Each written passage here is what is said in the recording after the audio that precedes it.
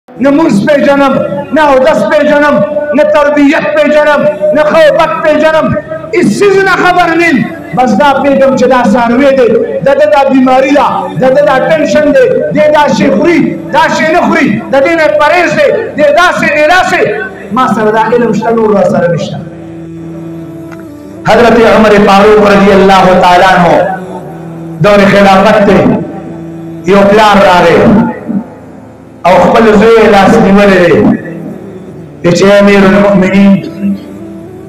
زما دې بچی په ما باندې لاس چپ کړ او یوازې په ما باندې نه د خپل مور هم نن ووهله حضرت عمر رضی الله تعالی عنہ هغه سلمی را نږدې کړ او تپوس ته کوي چې بچي ستا د پلار رښتیا وایي تا نن په خپل پلار لاس چت کړ وی امیر المؤمنین دا جنې رښتیا وایي وی تا نن خپل مور بیبي باندې لاس چت کړ وی اوی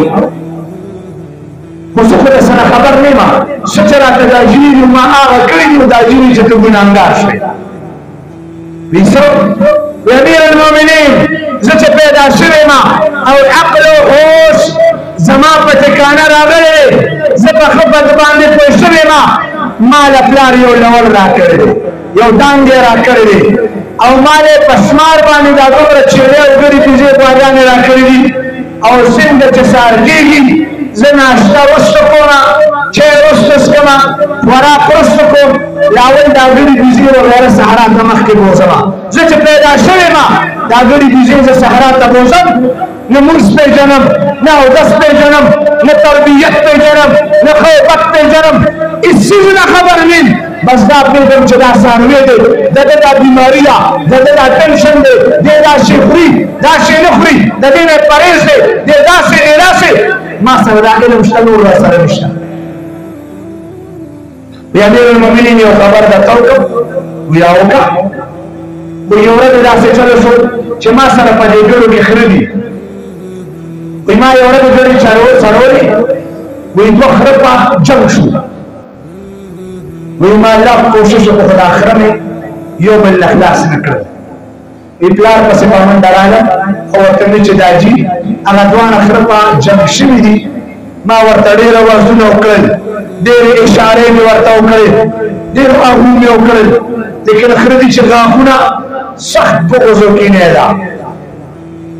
غاښونه نو کړل وې دې پلار راته نصیحت وکړو چې بچې کله ته وګینې چې دا خره په جنګ شو او ستا په اواز هم دې نه لر کېږي ستا په کش کوش باندې هم دې نه لر کېږي ستا په یړول هم دې نه لر کېږي نو دا کوم لوړ دام چې ما تاله درکړ دې دا به ونیسې او د دې دواړو خو ترمنځ به به سره وبغې چې د چا کوم ځای ولګېدو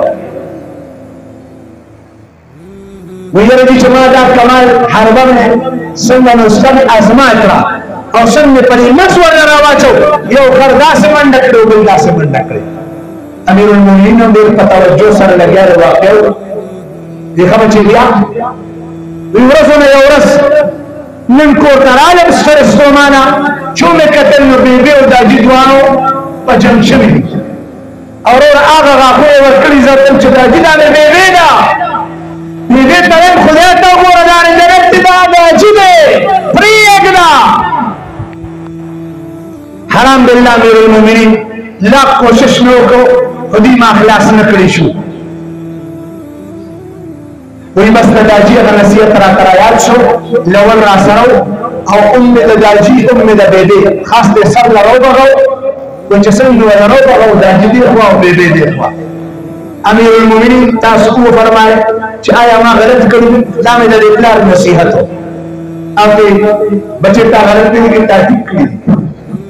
او بیا والد صاحب ته متوجه شو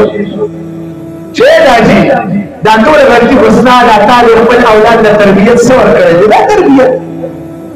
زما محترم په دې تناظر کې دی موږ د خپل اولاد تربیت وګورو چې په کوم انداز کې موږ تربیت کوو